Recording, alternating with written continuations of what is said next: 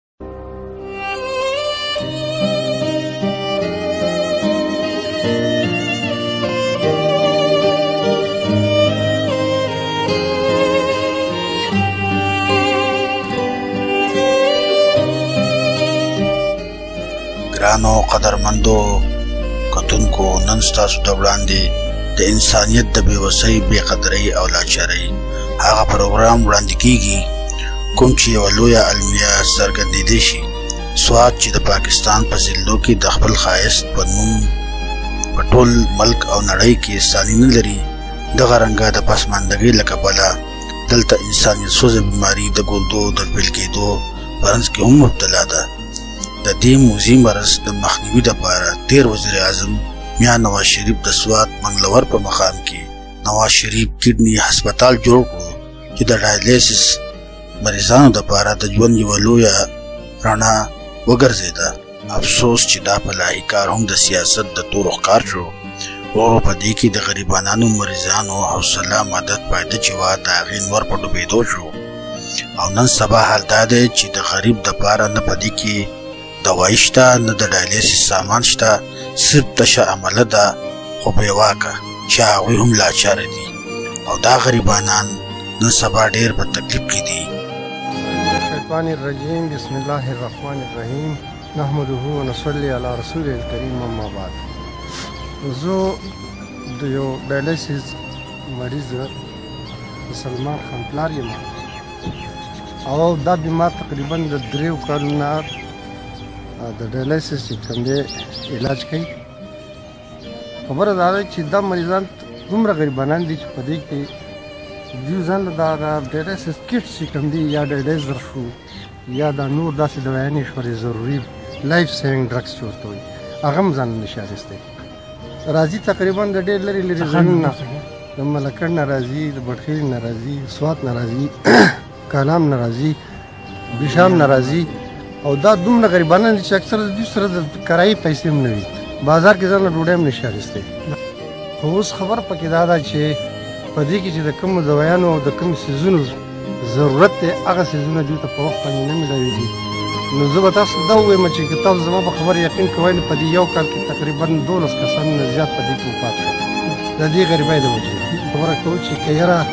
مهرباني وکړي چې حکومت دا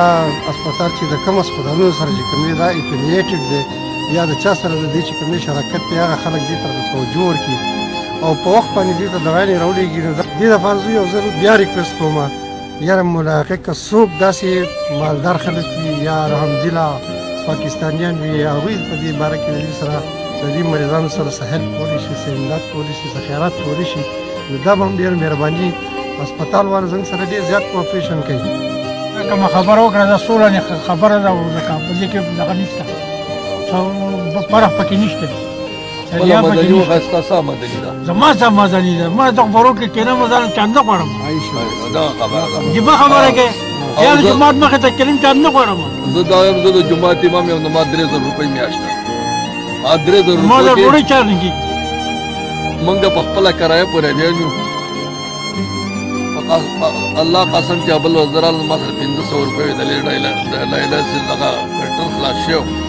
چې په هغې پورې ما بیا د دکاندار نه مسیا راوغسه د سوال منت وکړو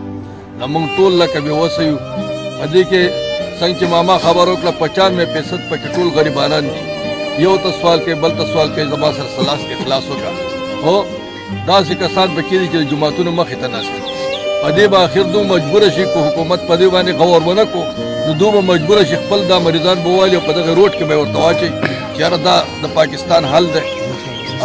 لمنګ لکه دې کسان ته سوال کو چې زمونږ په خبره باندې زمونږ د غریبانو سره په دې غربت کې زمونږ سره مرسته وشي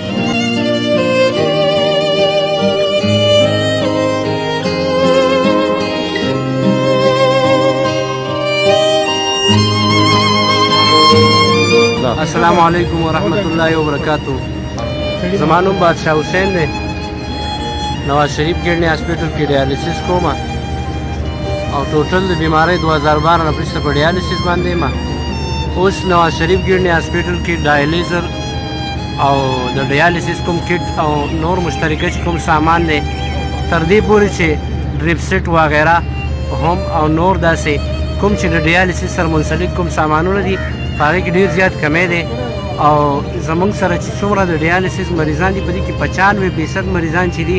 هغه ډیر زیات غریبانان دي تر دې پورې چې هغه ځان له خپل روټۍ بندوبست نشي کولای د ډیالیسیس کیټ یا د ډیالیزر و غیره څونه چې سامانونه دي دا به څه واخلي او د ډیالیسیس چې کوم نور مشترکه لکه ګولۍ شوې او نورې دوايانې شوې انجکشنې شوې په دې باندې هم ډېرې زیاتې پیسې راځي موږ تمام خپل مشران چې کوم دي لکه وزیر اعلی او وزیر اعظم او څومره چې د ډیالیسس والا چې څومره سامانونه دي په دې کې د موږ سره کوآپریشن وشي او دا د موږ له په وخت باندې را ورسول شي که دا چېرته راونه ورسول شي نو د ډیالیسس یو داسې شی دی چې په دې باندې زندګي ده زموږ او که دا ونه کړی شي مریض ته نو مریض ډایرکټ مړ کېدی شي بل څه هېڅ چانس یې نشته دی او مریض د دې د لاسه مړ کېږي نو دومره غریبانان دي چې د دې ډیالیسیس د وجې نه چې هغو سره د ډایلیزر د اخیستو روپۍ نه وي او هغه د دې د وجې نه واپس تللی د چوپریال سوات یو مریض د دې د وجې نه وفات شوی دی او موږ دا خبره کوو چې موږ سره دې په دې کې بھرپور کوشش وکړی شي او د اسپتال چې کوم معامله ده هغه زموږ سره ښه کوآپریشن کوي خو موږ له خو دوایانې د بهر نه نشي اخیستی موږ له خو د ډایلیسیس سامان نشي اخیستی د بهر نه بھرپور ډایلیسیس سامان راورسولی شي چې هغه زموږ سره اخلاص وکړي والسلام د دې هسپتال د ذمہوارانو نه دا مطالبه کوي چې په تش عمارت جوړېدو څه نه کیږي چې تاسو سواد کډني هسپتال کوم چې تاسو به یارو مددګار پرېښې دی لږ په زړه کې د رحم جذبه بیداره کړئ او دې هسپتال له د ډایلیسیس سامان دوايانې او نور ضروري لوازمات مهیا کړئ او د دې غریب مدد وکړئ ځکه چې د دوی ژوند ورځ تر ورځه په خطر کې ډوبېږي امید لرم چې تاسو به زموږ دا غږ په وخت په وړاندې ورسوئ د الله په امان ستاسو ورور سردار حسین